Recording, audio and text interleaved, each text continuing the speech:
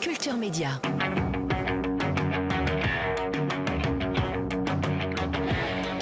Alors Hugo Clément, ce soir dans Sur le Front, vous nous emmenez à la poursuite d'un pot de yaourt hein, qu'on est de plus en plus nombreux à jeter dans la poubelle jaune.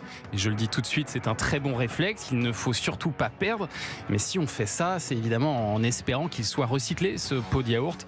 Or, ce que l'on apprend dans votre doc, c'est que c'est très très rarement le cas en fait. hein. Oui, c'est très rarement le cas. Euh, Les filières de recyclage ne sont pas du tout au point concernant euh, le, le polystyrène. Euh, C'est le plastique qui constitue les pots de yaourt. Mhm. Et donc, on a suivi euh, à la trace, j'ai envie de dire, depuis la poubelle jaune jusqu'à son destin final, ces fameux, euh, ce fameux pot de yaourt pour savoir qu'est-ce qu'il devenait euh, réellement? Et à l'arrivée, on apprend que 3% seulement des pots de yaourt sont vraiment recyclés. Et encore, on n'est pas fichu de le faire nous-mêmes en France.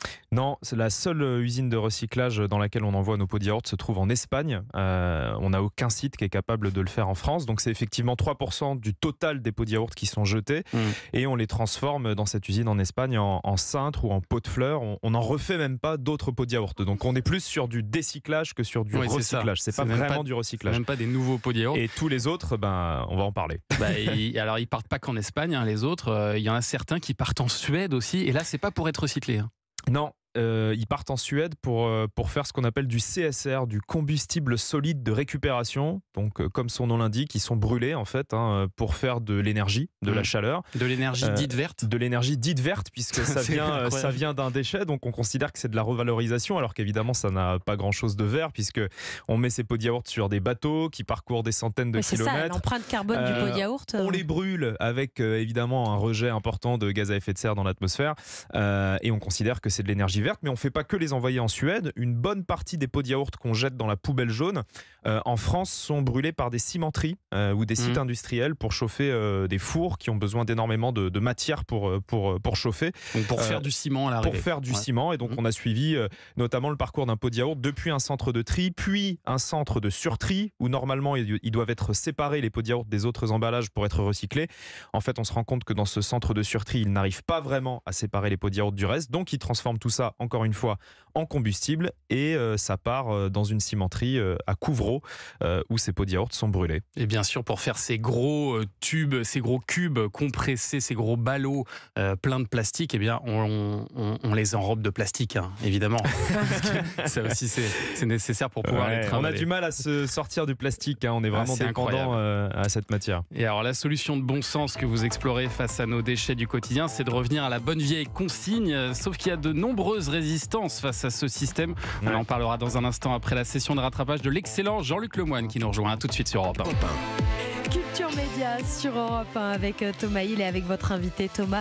Vous recevez ce matin Hugo Clément pour un nouvel épisode de Sur le Front. C'est ce soir à 21h sur France 5. Oui, et on a parlé de tous ces pots de yaourt que l'on jette et euh, face à ça, vous explorez une solution qui est celle de la consigne en verre. Vous montrez que même pour les yaourts, d'ailleurs, il y a des systèmes qui existent aujourd'hui. Ouais, il y, a- il y a tout un tas de, de petites entreprises qui mettent ça en place où il est possible d'acheter ces pots de yaourt, euh, de les manger et de les ramener quand on revient Mhm. faire ses courses la prochaine fois. Et on récupère en plus euh, le prix de la consigne. Parce Bah, que c'est ça l'intérêt de la consigne c'est que non seulement c'est plus écolo, mais en plus euh, c'est plus économe si c'est mis en place de la bonne manière. Et vous donnez ce chiffre, hein, 92% des Français qui sont favorables à la consigne.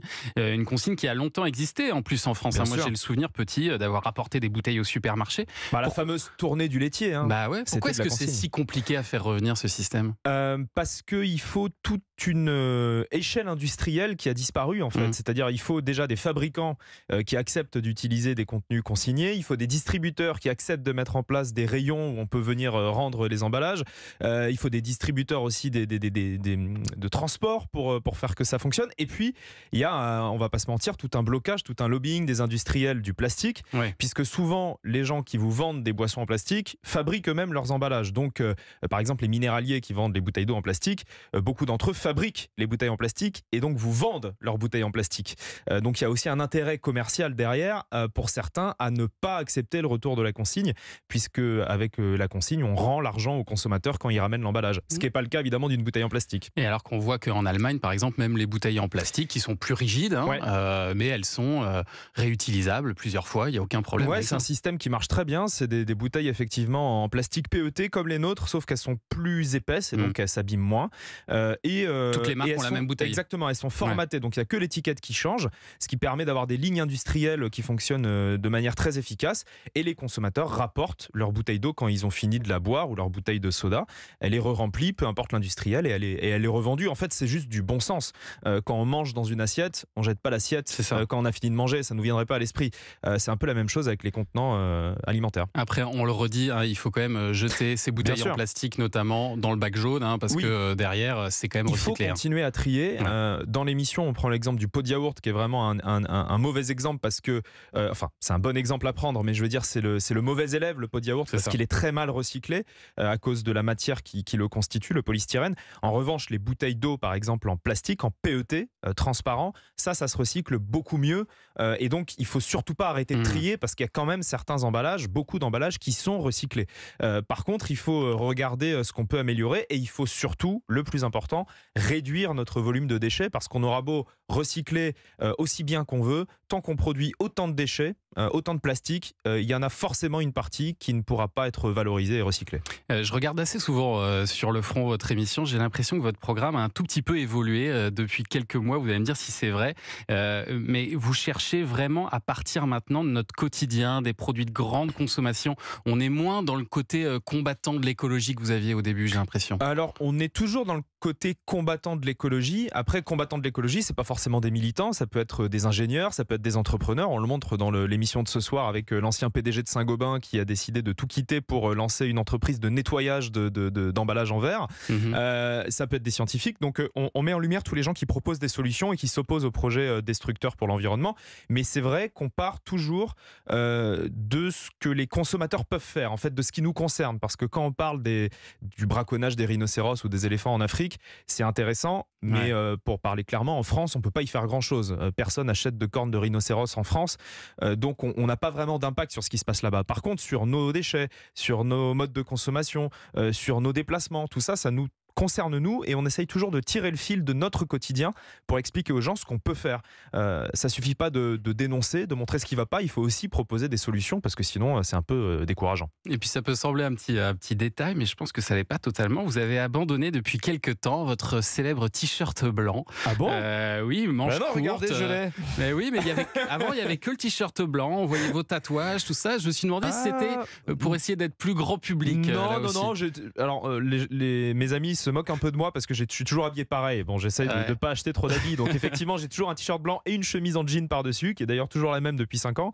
Euh, mais euh, non, euh, je mets un t-shirt quand il fait très chaud, tout simplement. Et les, les- les tournages qui ont été faits cet été, je vous garantis, j'étais en Ah, t-shirt. va- vous le le verrez dans, va revenir. vous Ah, verrez dans quelques mois. Je m'adapte à la météo, on va dire. Bon, et puis il y a un an, euh, Hugo Clément, pile un an presque, hein, vous avez lancé en- en ligne euh, un nouveau média qui s'appelle Vakita. Ouais. Euh, comment il se porte aujourd'hui? Donc c'est un média, on le rappelle, euh, euh, qui fait appel justement au bon sens euh, écolo. C'est un hein, média d'enquête. Euh, c'est vraiment un média d'investigation sur les questions environnementales parce que c'était pas trop occupé ce, ce créneau-là et il y a vraiment tellement d'enquêtes à mener sur l'environnement.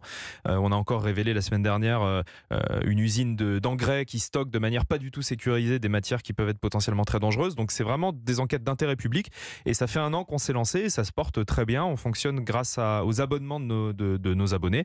C'est notre seule source de revenus. Est-ce que vous ce qui avez nous le permet de financer les enquêtes. Vous avez le nombre d'abonnés que vous espériez au départ? Ouais, on est dans ce qu'on avait prévu et euh, on va continuer à grandir euh, ensemble. Et est-ce que c'est rentable aujourd'hui Vakita ou non, c'est pas rentable. Dans quelques des- années? Non, non, ça, ça le sera dans, dans quelques années. On, on es- on espère déjà arriver à l'équilibre. Euh, vous savez, c'est pas avec un média indépendant d'investigation que vous faites de l'argent. hein, ça se Ouais. saurait sinon. Ouais. Mais par contre, ça a vraiment un intérêt sociétal. Ça a vraiment beaucoup d'impact et on espère arriver à l'équilibre très bientôt. Restez avec nous sur Europe 1 dans un instant la suite de Culture Média avec le journal des médias de Julien Pichenet au programme aujourd'hui Emmanuel Macron, les Jeux Olympiques et Karine Le Marchand.